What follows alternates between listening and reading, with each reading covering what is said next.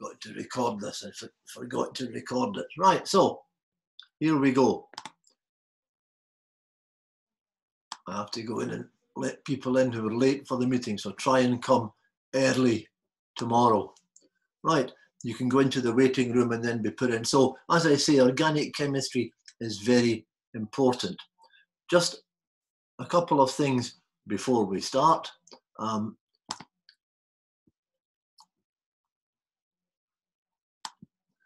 right, there's a whole pile of stuff available to you on a website called Schoology. What you do is you Google Schoology, you open the page, it will ask you to sign up, right? So you sign up. Um, when you click that, it will ask you to enter an access code. You have to enter the code exactly as it is below. Right? That's and it's all capital letters and there are no spaces. So it's D95M dash NVJW dash VQ4PZ.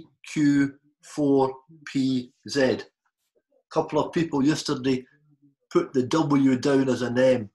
Right? So you've got to get that exactly right or they won't let you in. When you enter that, they will ask you a few questions about yourself. Um, you can tell them the truth, you can tell them lies, it doesn't matter. Um, you'll get in anyway. Um, it's as well to tell them the truth, they don't bother you.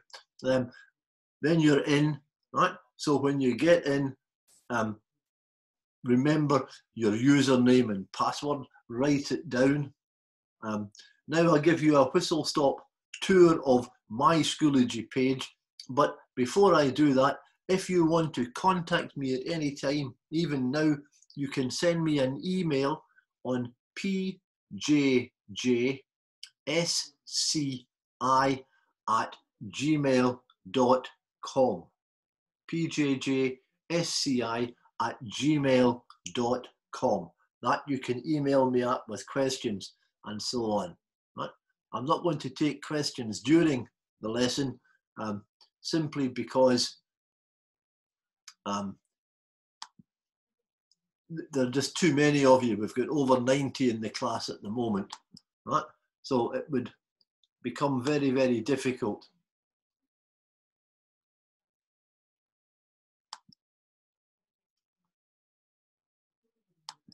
Right, so that's point number one. Let's have a look at Schoology. Let's have a quick look at Schoology.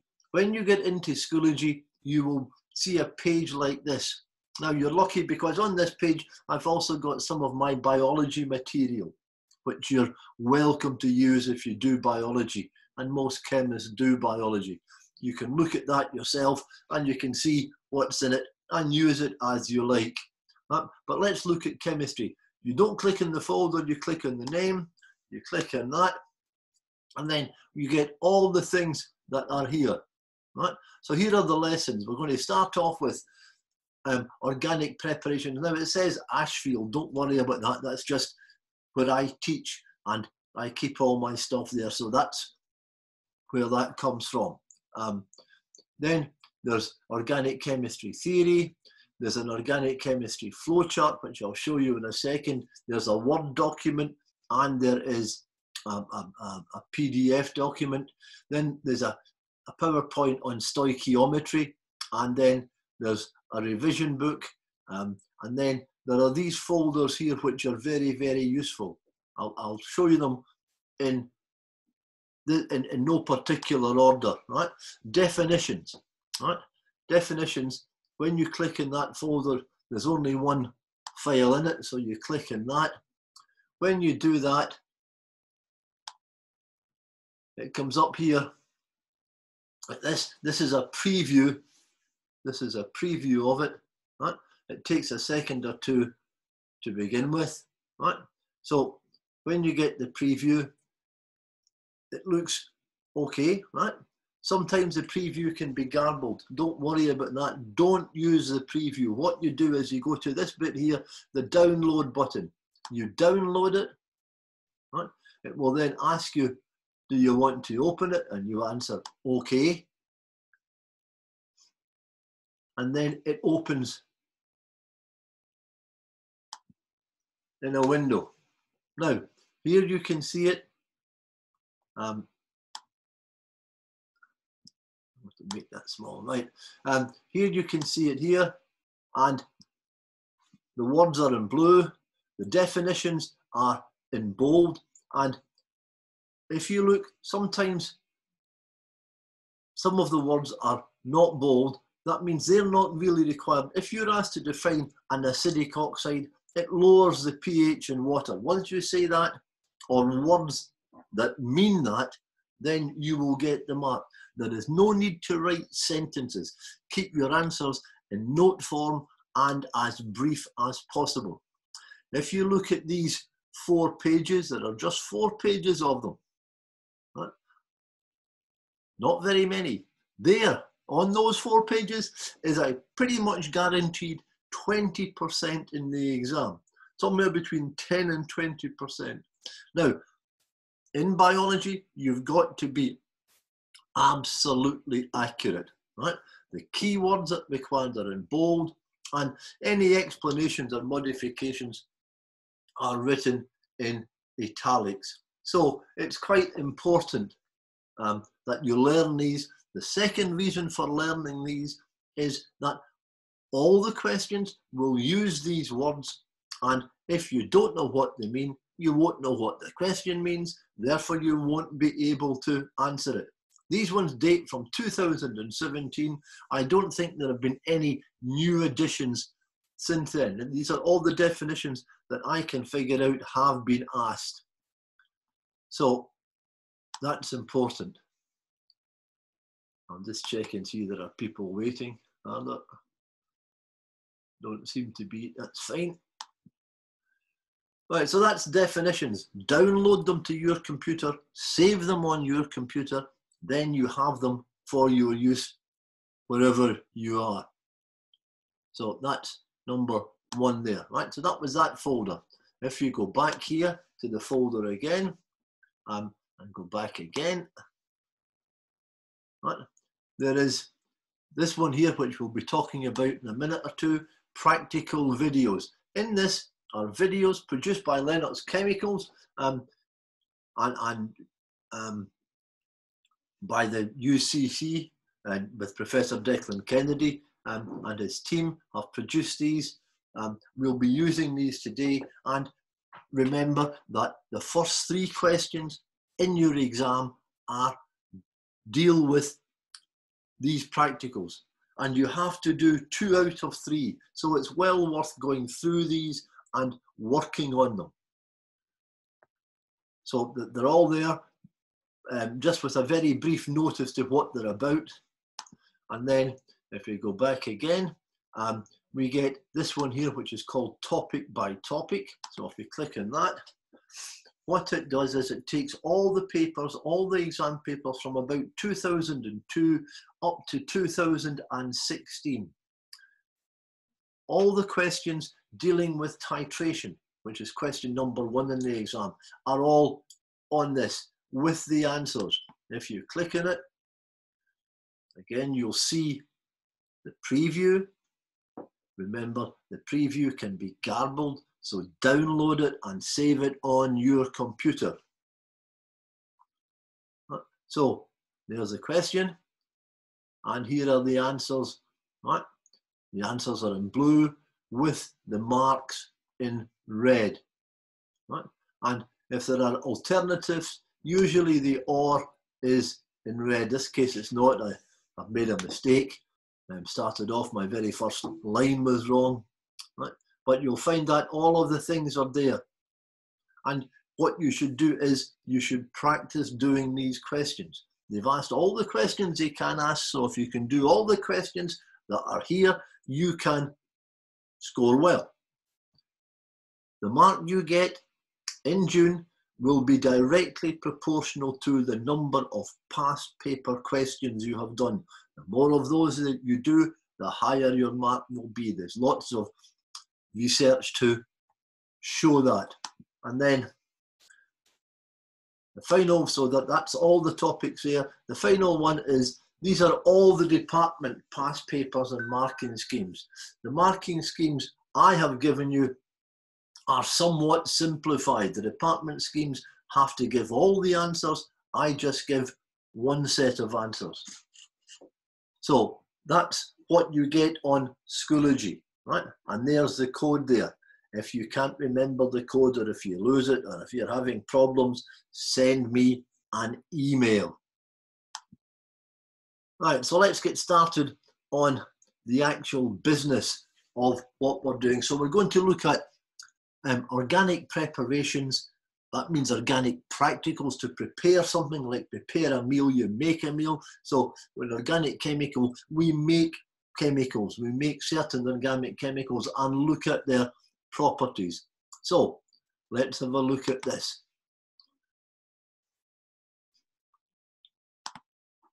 Ah, right, organic preparation, the production and properties of certain organic compounds, right? So organic preparations. First one will be the production and properties of ethene, C2H4. The next one will be ethyne, C2H2. Then we'll talk very briefly about ethanol and and then we'll go on to ethanol, the properties of ethanol. Not how you make it. Used to have to know how to make it, not anymore. Um, and then five, we'll talk very, very briefly about propanone. Um, then the properties of ethanoic acid. You used to have to know how to make it, not anymore. Um, and then a, a, brief chat about esters, um, and then about making soap, how to make soap, and clove oil extraction, and finally benzoic acid preparation and purifying. So that's what we're going to be going through today and tomorrow. So let's start off with the alkenes, with ethene. The alkenes have a general formula of CnH2n. That means there are twice as many hydrogens as there are carbons. They are hydrocarbons, means they consist of carbon and hydrogen only. Right? So the first member of the series is ethene. Right? The first member is ethene, C2H4. There is no methene. It does not exist. Um, why does it not exist? Because the functional group of alkenes is a carbon to carbon double bond. If you've got a carbon to carbon bond, then you must have two. You can't have a carbon to carbon bond if you've only got one carbon. Right? So the second one is propene and the, the, the third one is butene. You have to know the names and formulae of those four, of those three, sorry. Right? What is the functional group? The functional group is the group of atoms that gives the homologous series its main characteristics. In this case, it's C double C. It is a non-polar bond. Therefore, ethene is non-polar. Therefore, it is not soluble in water. Water is polar, alkenes are non-polar. The general rule is that polar dissolves polar, non-polar dissolves non-polar. So alkenes are not soluble in water. Therefore, as a result of this, we can collect them over water.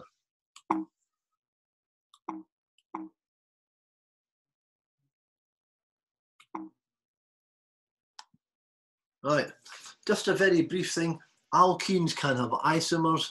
Uh, isomers, um, what are they? They have the same molecular formula but different structural formulae, not the same chemical formula. That's wrong. Although if you ask teachers, the vast majority of them would say that that's what it is, but it's not. It's the same molecular formula. And I mentioned earlier that you have to be absolutely precise with your definitions. Those of you who were waiting, I'm sorry, but here we've another one. Please come early. Right, you go into the waiting room and then I let you all in at once.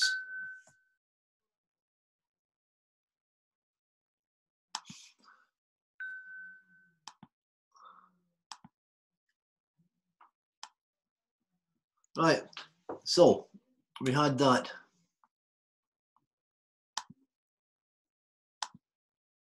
What's happening here?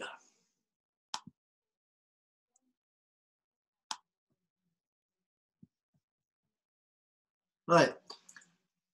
In the case of alkenes, the isomer, the isomerization can be the position of the double bond is one thing, or for example, hex 1 and hex 2 or where the branching occurs, for example, 4-methyl pent-1-ene and hex 1 ene.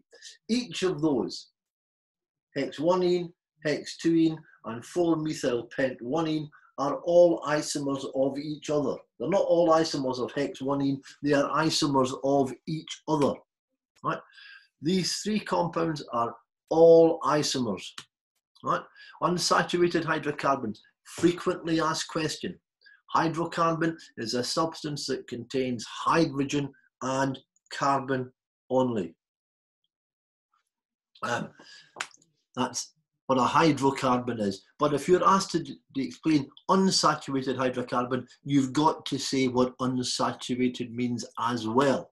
Right? So unsaturated mean unsaturated means it contains at least one carbon to carbon double or triple bond. And the carbon to carbon is important. It's not just a double bond, it's a carbon to carbon double bond or triple bond. Right? Unsaturated compounds are easy to identify because they react quickly with bromine, Br2, or bromine water, and which is red brown, or and they also react with acidified KMNO4, which is purple, and in both cases, they decolorize them. They go from red, brown, or purple to colorless, not to clear. They're clear to begin with. That means you can see through them. They become colorless. Right? So saturated is the opposite of unsaturated.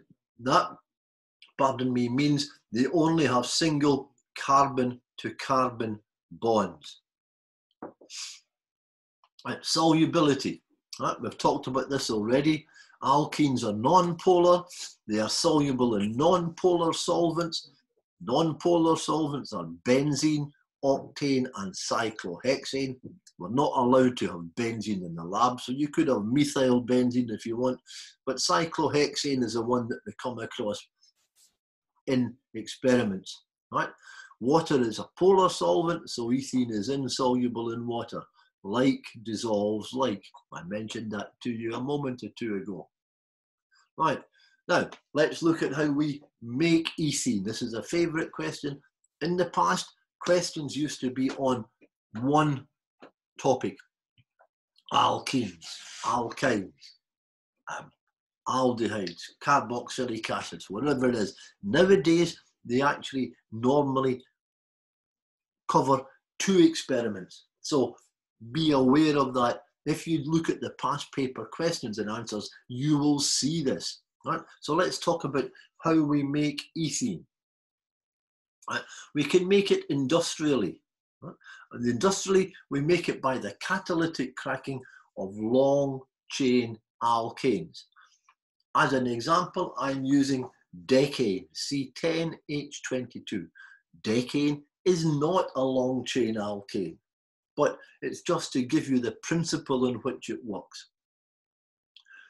When we heat the long chain alkane in the absence of oxygen, why do we do it in the absence of oxygen? Because if we heated it in the presence of oxygen, it would catch fire. Right? So we heat it in the absence of oxygen and in the presence of a catalyst. Catalyst is something like porous pot or aluminium oxide would be fine too. What happens is that the molecule vibrates more and more as the temperature goes up and eventually it breaks apart and it breaks apart into any number of pieces. But in this case I'm breaking it apart into three pieces. If you're asked to give an example this is what you give right? Two of these things are alkenes and one is an alkane. So we have Here we have 10 carbons and 22 hydrogens. So when we break it up, we still have to have 10 carbons. 2 and 3 is 5 and 5 10, that's fine. And 22 hydrogens. 4 and 6 is 10 and 12 is 22. Pardon me. If we do that, all we have to check is that we have the same number of carbons and the same number of hydrogens. If we take two alkenes and one alkane, then that will guarantee us that we have the correct numbers. Right, so as I said, the catalyst is porous pot or aluminium oxide. The products are separated by fractional distillation because they have different boiling points due to their different relative molecular masses. This process, the whole process, is done in an oil refinery carried out there for two reasons. One, the raw materials are there, all the long chain alkanes. And remember that long chain alkanes make up the bulk of crude oil.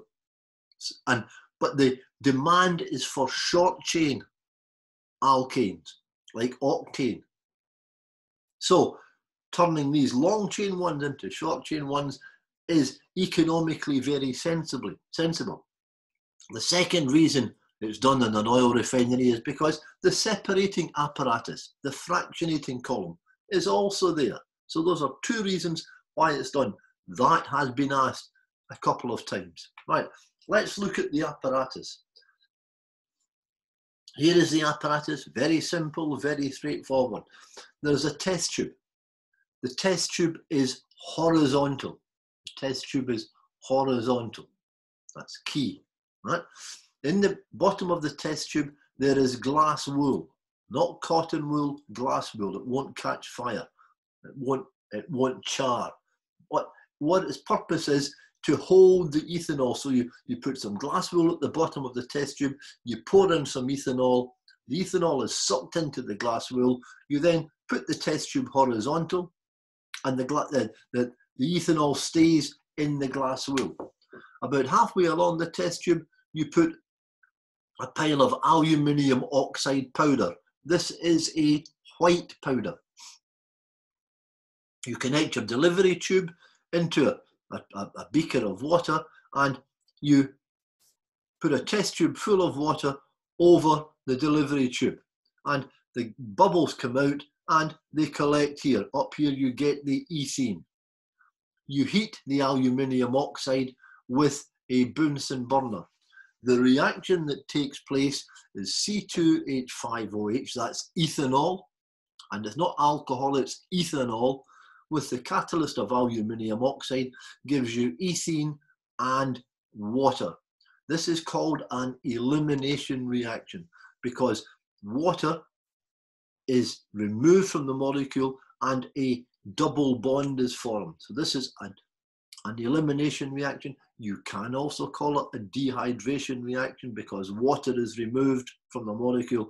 But the best answer is an elimination reaction. So you need to know that diagram and be able to draw it. And you need to know the equation. Right, the Bunsen burner heats the aluminium oxide strongly and enough heat spreads to the glass wool to vaporize the alcohol.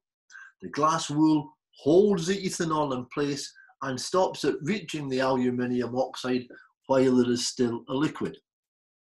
The aluminium oxide is a catalyst. It is not used up in the reaction. Right? We collect the ethene over water because ethene is insoluble in water. And a safety feature is that you remove the delivery tube before the heating stops to prevent suckback and a possible explosion. Now let's just go back for a second look at the diagram. Here we are, the diagram.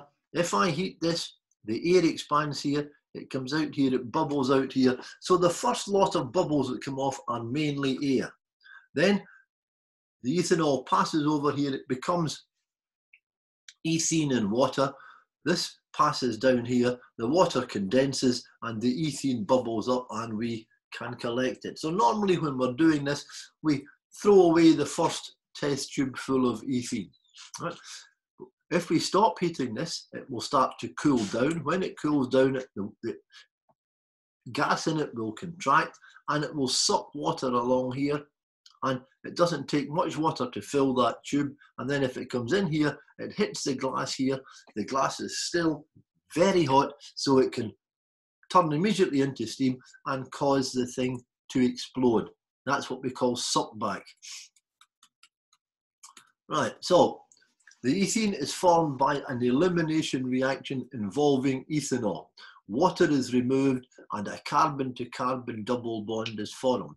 There's ethanol, it becomes ethene, there's a double bond formed, and water is removed.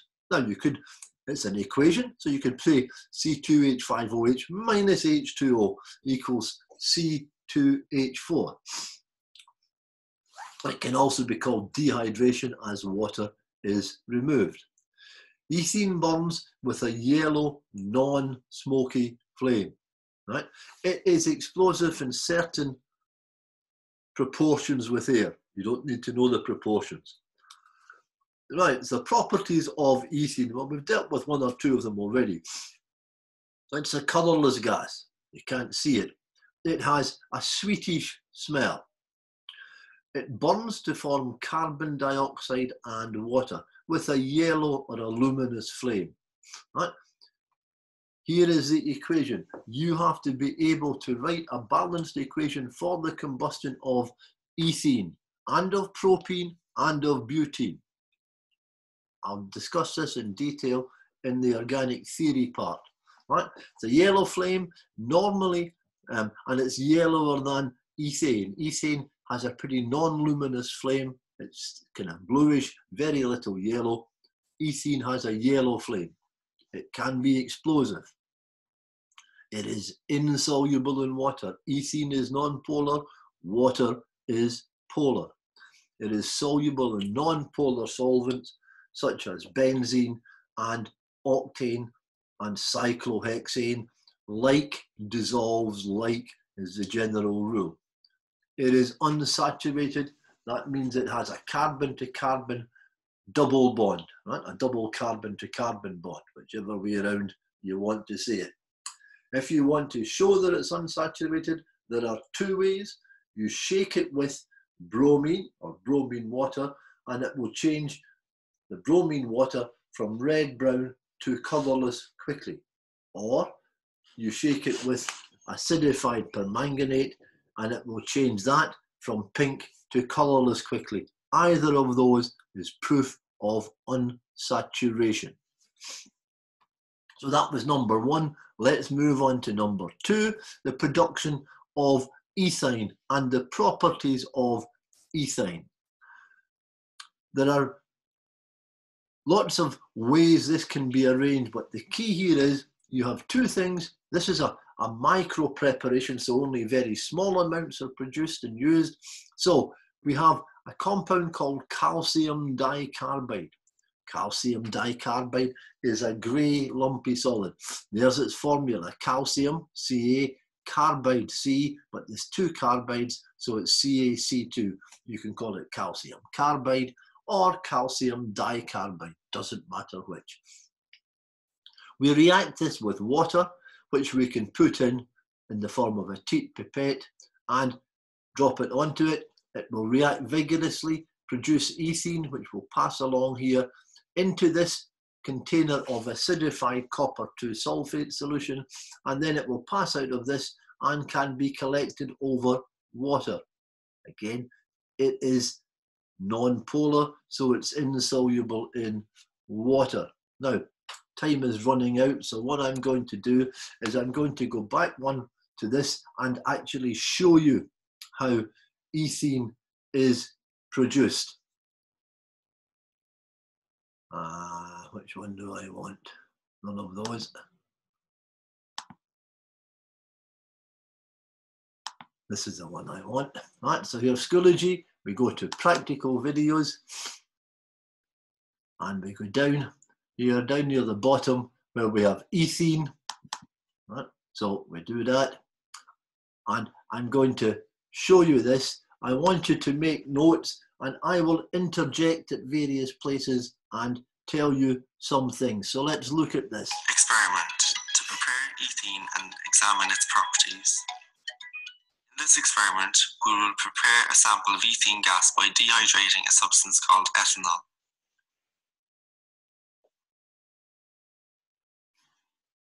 That is using a chemical reaction to remove the elements of water from it.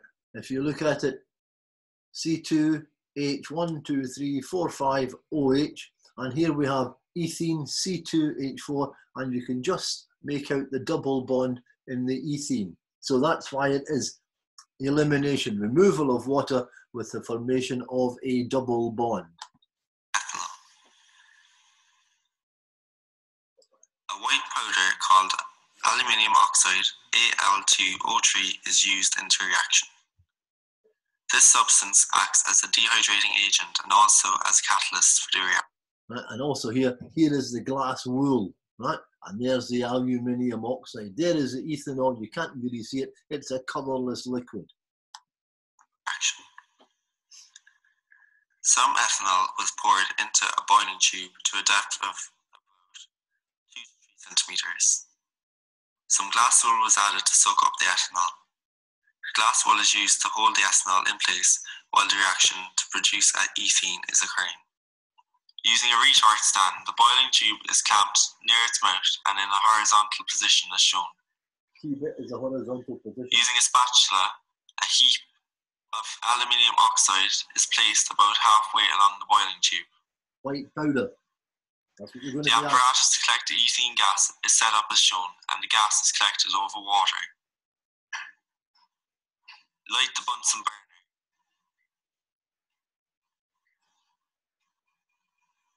Adjust it to give a blue flame and gently heat the aluminium oxide.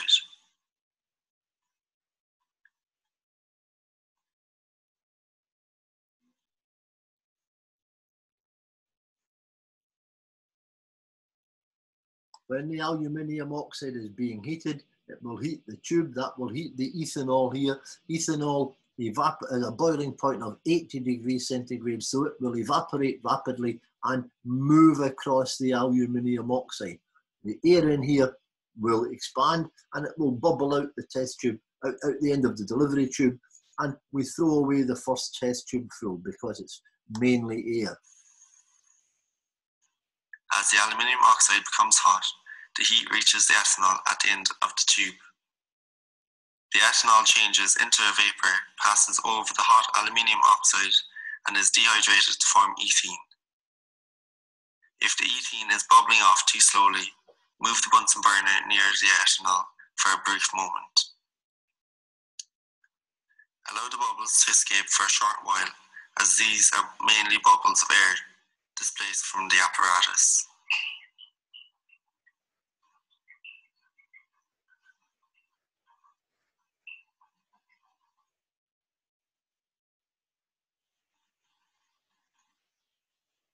So now they're collecting it. See the colourless gas, right? Collect five test tubes of the gas. Number of test tubes doesn't matter. Just collect the gas, and then you're going to test the gas in various ways. Put a stopper on each test tube as it is filled.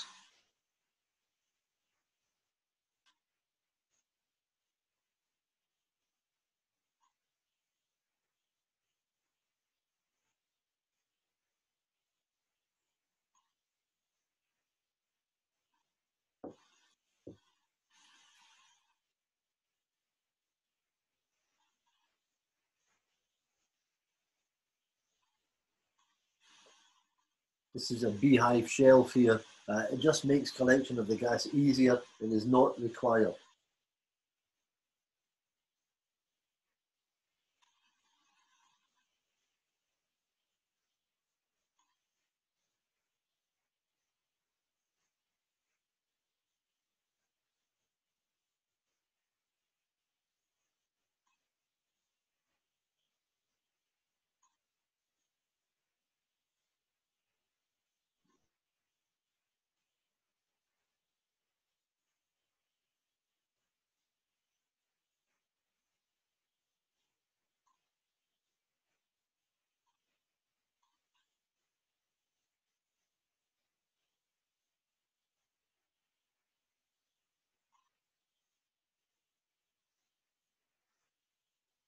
Where he's collecting a, a gas jar full of it.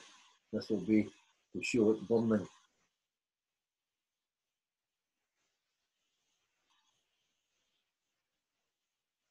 So you can see there's quite a lot collected from that small amount.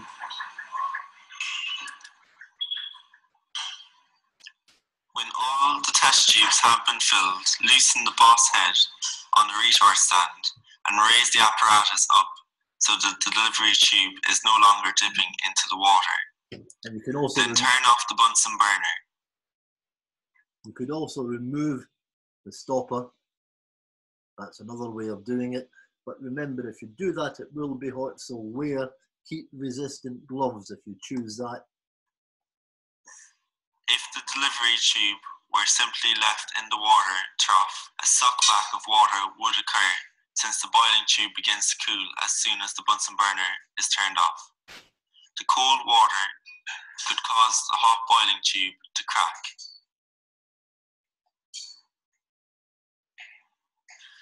In the next part of this experiment, we will examine the properties of ethene. Note the physical properties of ethene. It is a colourless gas with a sweetish smell. The fact that the gas can be collected over water shows clearly that it is insoluble in water. Otherwise, the gas would simply dissolve in the water instead of bubbling through it. We now investigate what happens when we burn ethene. Remove the lid from one of the gas jars and use a lighted wax taper. It doesn't have to be a wax taper, it could be a, a wooden splint. Doesn't really matter. It's just to keep your hand away from the Apply a light to the mouth of the gas jar. But see it burning with a yellow Note flame, that the gas luminous flame, burns with a luminous flame. but no smoke. Allow the gas to burn.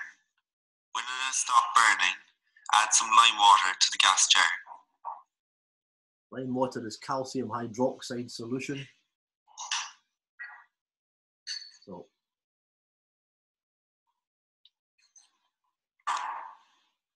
you add it to the gas jar and then you shake it. Replace the lid and shake the gas jar a few times.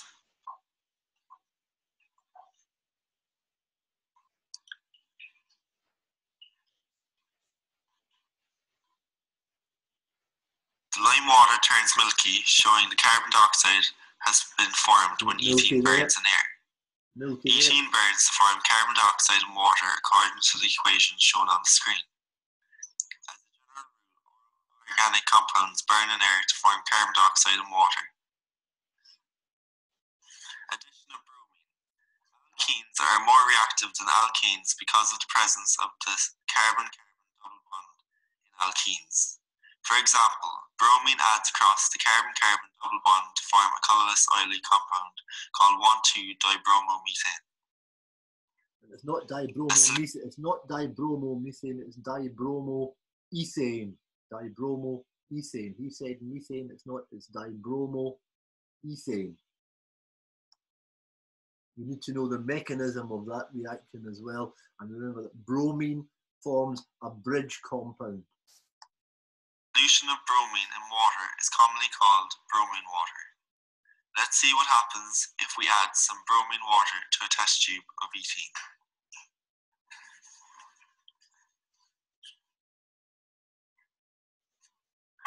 Replace the stopper and shake the test tube a few times.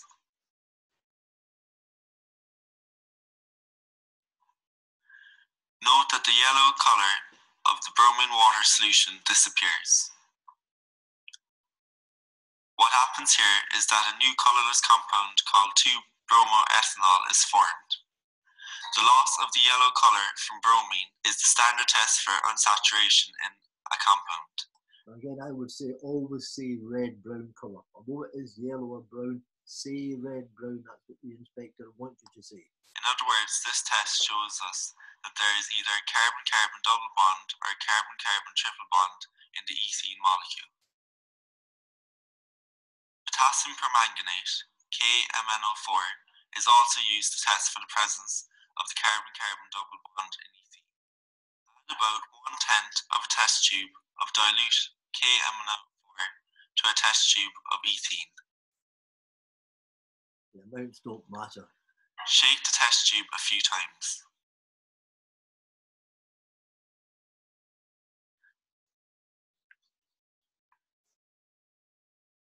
The disappearance of the purple colour to give a colourless solution is evidence for the presence of a bond.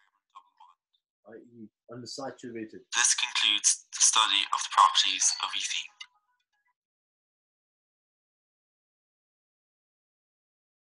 Okay, well, that's time up. So we'll leave it at that today. We'll go. We'll start off tomorrow with the production and properties of ethyne, and then we'll continue on from there. Look at the practicals if you like. Have a look at the PowerPoint, download it, and keep it